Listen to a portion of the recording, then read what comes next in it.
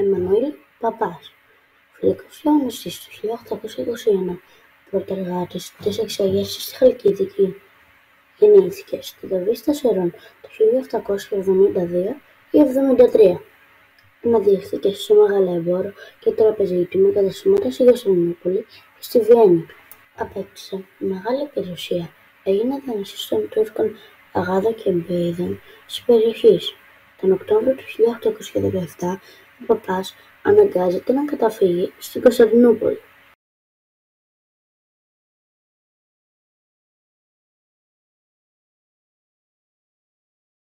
Εκεί, ύστερα από δύο χρόνια, στις 21 Δεκεμβρίου του 1819, μοιείται στη φιλική εταιρεία από τον Κωνσταντίνο Παπαδάτο και προσφέρει αμέσως χίλια γρόσια για την ενίσχυση των οικονομικών της. Ακολουθώντας την εντολή, το Αλέξανδρο Ψηλάντη προμηθεύτηκε στην Κωνσταντινούπολη όπλα και πολεμοφόδια. Με το καράβι αναχώρησε για το Άγιον Όρος.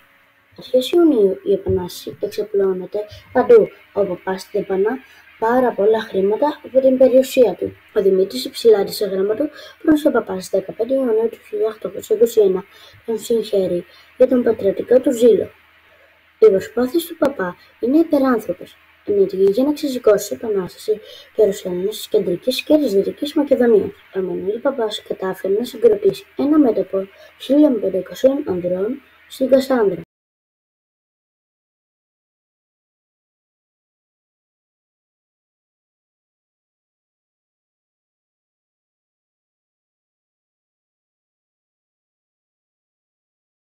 Στις 30 Οκτωβρίου του 1821 όμως τα τρία τέταρτα των επαναστατών επισημαχόμενοι ανάμεσα στους και δύο από τους τρεις γιους του Εμμανουήλ Παπά. Ο Εμμανουήλ Παπάς στη συνέχεια φυγαδεύτηκε στο Άγιο Όρος. Στις 5 Δεκεμβρίου του 1821 πέθανε από καρδιακή προσβολή πάνω στο πλοίο με το οποίο κατευθυνόταν προς την Ύδρα ώστε να συνεχίσει εκεί τον αγώνα.